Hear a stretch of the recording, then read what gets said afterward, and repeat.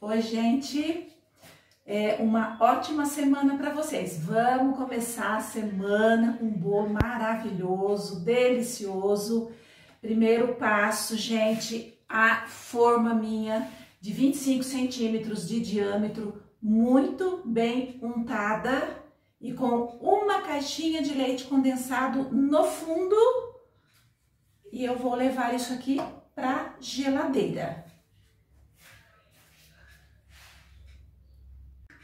Como eu disse a vocês, uma forma bem untada, que até tá aparecendo um pedacinho de manteiga ali, olha. Mas é uma forma bem untada, com uma lata ou caixinha de leite condensado ao fundo, que agora eu vou levar para a geladeira.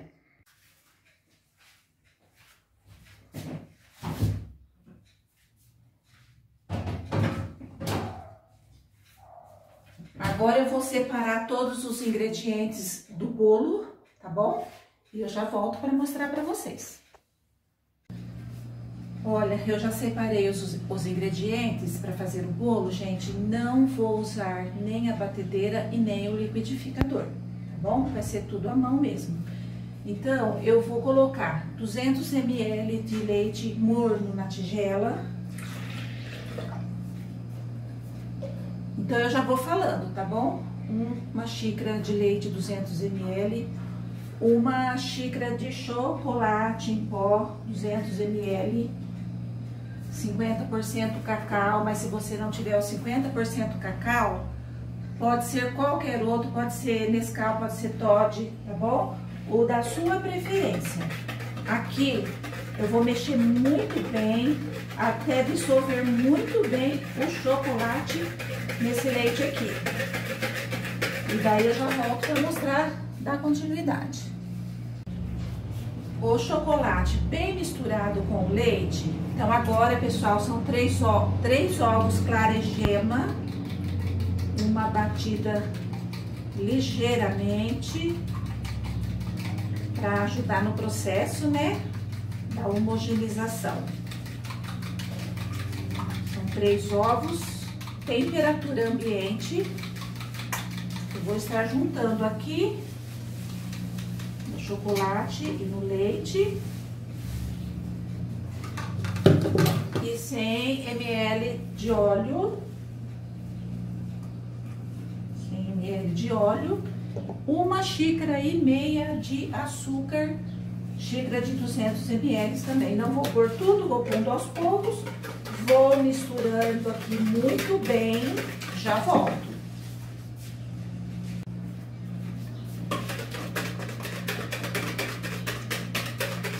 Olha, depois de você misturar bem esses ingredientes aqui,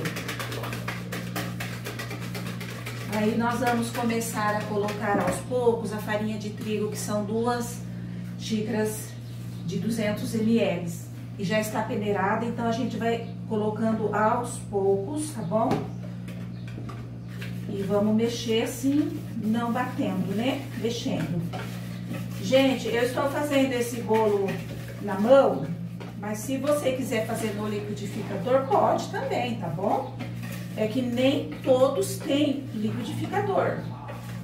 Então, eu tô fazendo para vocês verem que se você não tiver o liquidificador, você pode fazer do mesmo jeito, tá bom? Super prático, rapidinho você faz. E lembrando que o meu forno já tá aceso, tá bom? 180 graus. Tem que ser o forno pré-aquecido a 180 graus. E a forma está na geladeira. Com o leite condensado no fundo. Por quê? Para que o leite condensado fique mais firme, né? E, e não se misture com a massa. Porque se a massa misturar com o leite condensado bem, não dá certo não dá certo, ele não vai sair perfeito da forma. Eu já fiz muitas vezes esse bolo e muitas vezes deu certo. Mas também algumas vezes não deu certo. É assim inexplicável, sabe? Mas alguma coisa eu errei, né? Então, inclusive, hoje também eu quero ver se esse aqui vai dar certo, porque estou fazendo exatamente da maneira como eu já fiz no canal, porque eu já tenho esse, esse vídeo aqui no canal, eu já tenho ele. Só que ali teve muita dúvida, sabe? Muita dúvida. Ele teve 56 mil visualizações, muitos comentários, muitos comentários. Então, eu tô fazendo novamente, explicando melhor. Tô fazendo tudo, a massa e, a, e o recheio, tudo porque no outro vídeo eu não mostrei fazendo a massa, porque eu já, eu já tenho também só a massa no meu canal. Eu tenho a receita só da massa também. Então, hoje eu estou fazendo um vídeo completo, tá bom? Massa, como faz para rechear, né? Para ele sair como é a técnica para ele sair recheado do forno. Gente, ficou uma massa maravilhosa. Maravilhosa. Espero que vocês estejam vendo. Agora só falta o fermento em pó. Uma colher de sopa de fermento em pó mais uma mexida.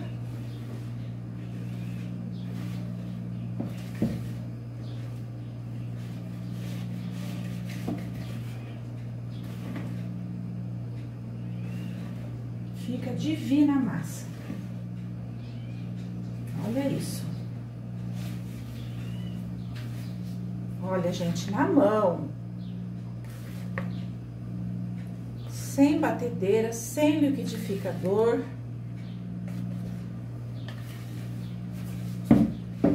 Agora eu vou pegar a, a forma que está na geladeira e eu quero mostrar de pertinho para vocês.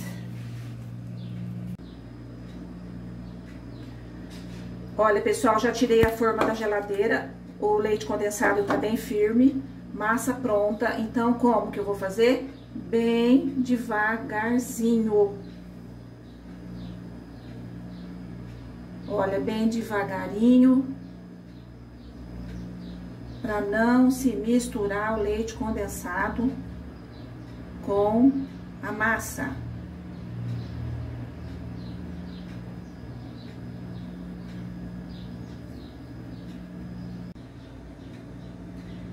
Olha, pessoal, então a massa já está aqui na minha forma. Então, agora vai para o forno pré-aquecido, 180 graus, por 45 minutos. 50 minutos de forno. Então, agora, pessoal, eu vou deixar ele aqui, em cima da pia, por 5 minutos, tá bom? Depois a gente vai desenformar. Então, gente, chegou a hora mais esperada. Olha, o bolo tá assadinho. Agora, pessoal, já deixei ele aqui. Até passou um pouquinho de cinco minutos, uns oito minutinhos ele tá aqui. Então, eu vou desinformar aqui juntinho com vocês. Vamos comemorar juntas ou chorar juntas. Mas eu acredito que deu certo sim, gente.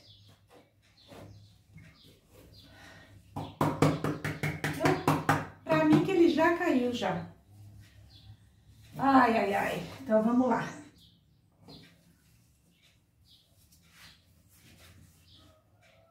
Para quem gosta de desafio, né? Eu gosto. Aí se eu fizer uma vez não der certo, eu insisto. A gente saiu. Ah, já tô sentindo que ele saiu inteirinho.